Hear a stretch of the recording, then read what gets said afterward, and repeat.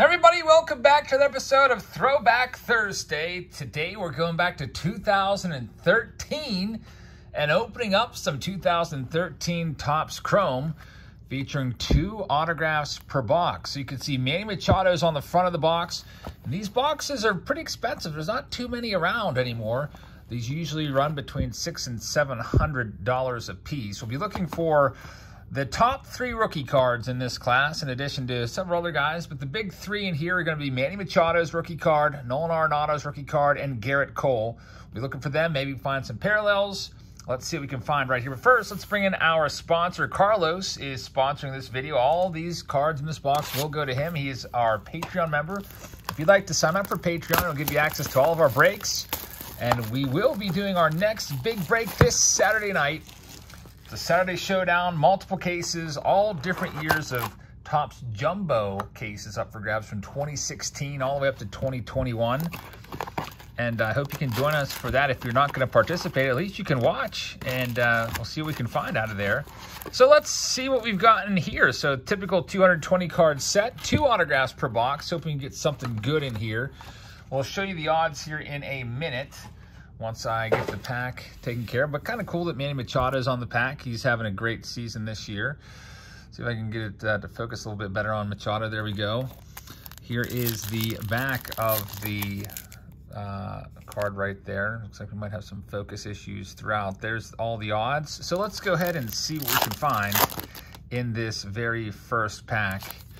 All right, so we start off with a Lance Lynn, and we have an, a nice X-Fractor already for Carlos. It's going to be Mariano Rivera right there.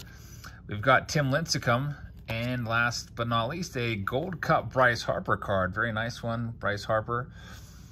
Gold Cup, that's it. That's not a bad one right there. We'll take that one. Next pack up. In pack number two, we've got a leading off. We got Mad Bum. Back when Mad Bum used to be featured on Topps cards, he, uh, of course, now is only on Panini products. And we've got Nick Maronde. That's a name that uh, you probably don't hear too often anymore. Um, I don't remember ever really hearing that name. Next up, let's see what we can find in this next one. Jose Fernandez rookie card on the back. Very nice. Now, of course, he's no longer with us, unfortunately. Passed away in that boating accident, which is very tragic. He was on pace to be one of the all-time greats. Maybe not all-time greats. Maybe that's a little premature to say, but definitely one of the premier pitchers in the league. At the time of his passing, he already was one of the best pitchers around. Next pack up for Carlos. We've got Ryan Braun on the back. We have a die cut card coming up here. It is going to be a Mike Trout die cut. So an early Mike Trout card.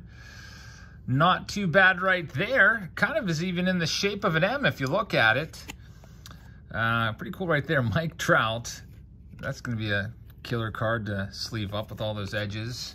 Next up, by the way, we will have a live stream tonight. We'll be doing an auction. So if you missed out on the last auction, I hope you can join us for that.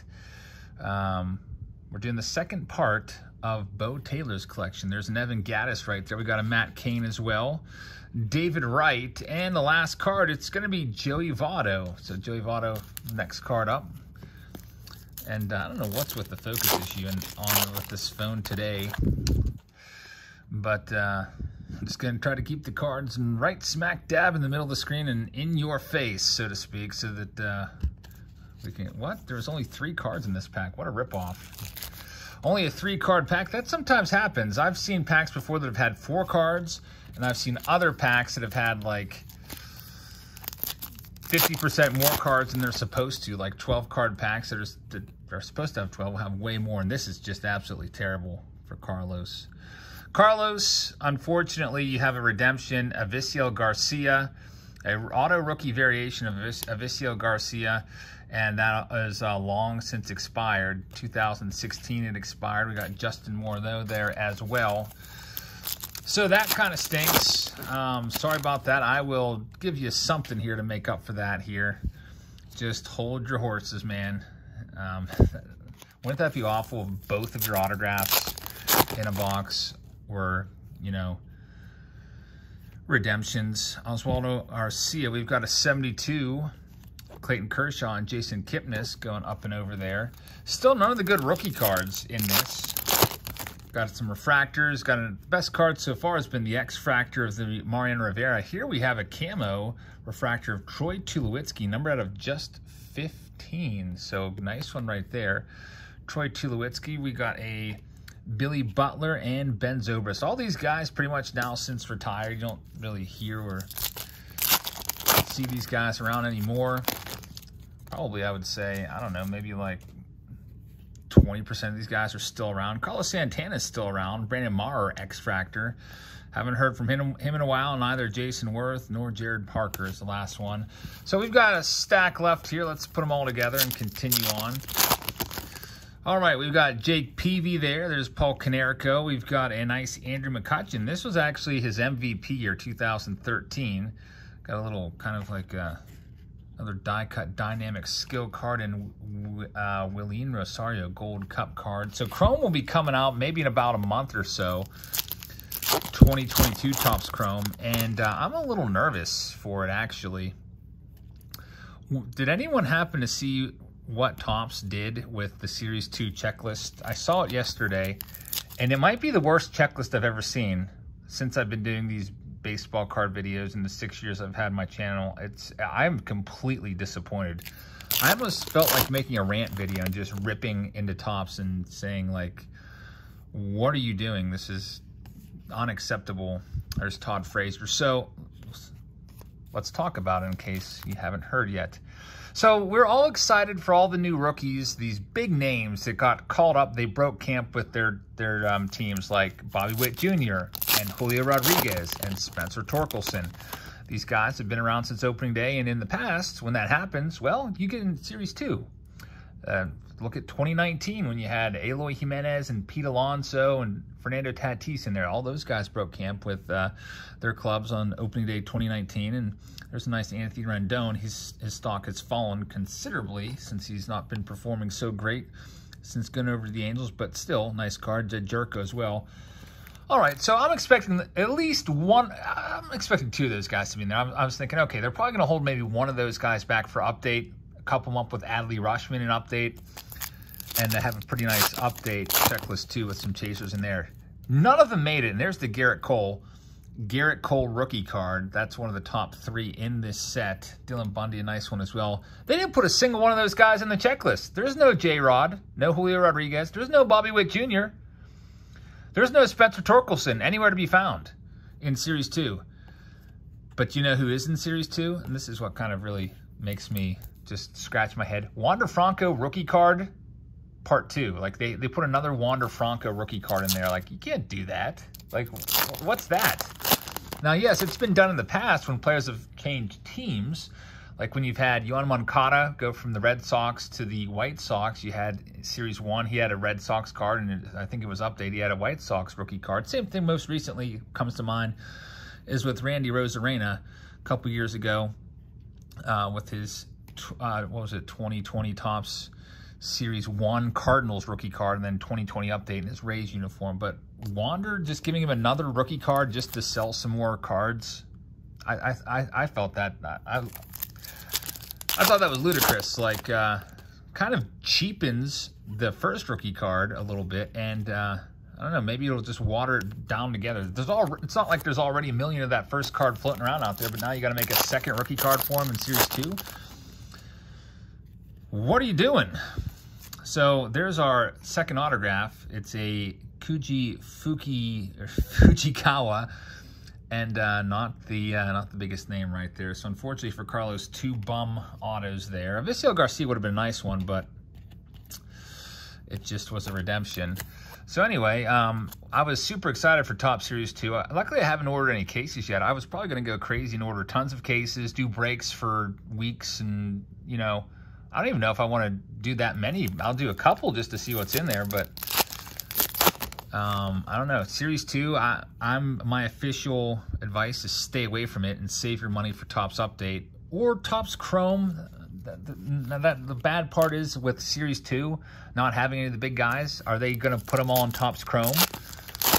And Topps Chrome's just going to be absolutely crazy. And by the way, we have a Nolan Arenado Chrome rookie card. So we've got Nolan Arenado, we've got Gerrit Cole. Now we just need to find Manny Machado. We'll have the trifecta there. So Nice one right there. It's not a guarantee you're going to get maybe any of these. There's, what, 220 cards in the set. There's only 96 cards in the box. You factor in all the, the inserts, you might only have like 90 cards or less to pull from. So we did pretty good with the rookies, getting a Nolan Arenado and a Gerrit Cole. I can, I can only hope that we can get a Manny Machado here. They've got a nice Adam LaRoche. That is a blue out of 199. Kyle Gibson rookie card. And Victor Martinez is the last one. All right, just two packs left, and then I got to get something for Carlos because, um, you know, that's that redemption just hurt my feelings for him. There's Wil Myers rookie card. Michael Wacha was pretty good there for a while as well. J. Pierre Arencibia and Robinson Cano, who was, uh, I believe, just got released by the Padres or is set to be released by the Padres, was hitting 094 for them. I think his career is pretty much over. He only did it to himself, too, with the PED usage. If he hadn't done that, he probably would have maybe been, we might be talking about Robbie Cano as a 3,000 hit player right now and um, potential slam dunk future Hall of Famer. Salvy Perez, Matt Harvey. And the final card of this box is the Grandy Man. But we're not done yet for Carlos. Nope. I've got something else for you. Your autographs were not that great, so I'm giving you two Stay Classy packs. If you know what these are, these come from Bryce at Stay Classy Cards. And these are my rainy day packs. I, I, opened, I bought 68 from him. I opened 48 in the video. I saved 20, and I used them as rainy day packs in case you have a bad go of a, a box or something like that. And I'm going to give you two here, Carlos, because you're short an autograph. Now you're going to get two autos, and you get a, a nice Brian Hayes, and you're also going to get an A-Rod rookie card in there, as well as all these bad boys with it.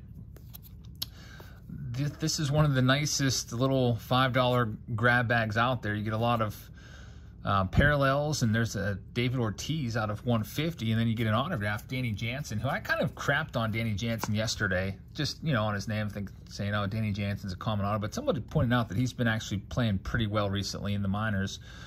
There's a Freddie Freeman, Byron Buxton, you got a Kyle Tucker right there, Nick Yorke, Rhys Hoskins blue, got a die cut Willie Mays, and a Cavan Biggio to go along with Casey Mize rookie cards. Let's do the other pack. And there's a Derek Jeter rookie card on there. Not technically not a rookie, but a rookie class Derek Jeter, which is a very nice one right there. That's from, I believe that's 1994 Collector's Choice. Very good card right there. Mike Trout's in there as well. Nick Madrigal.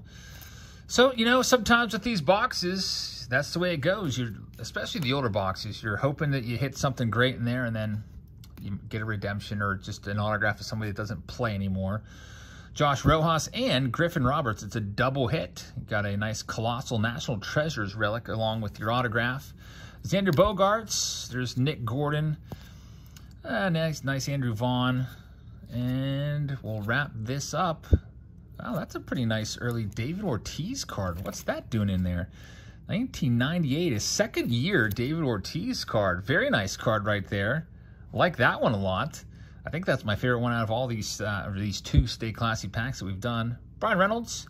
And last card there is going to be Seth Beer, who is one of the big names to look out for in Series 2 of Topps. The big rookies, not including Wander. If you, uh, Do you count that as rookie? I, I don't.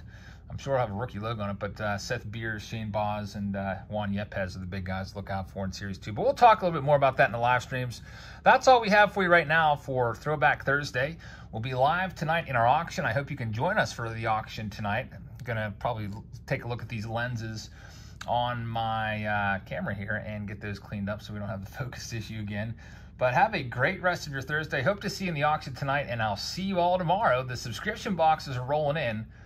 So look for some June subscription box videos soon as well.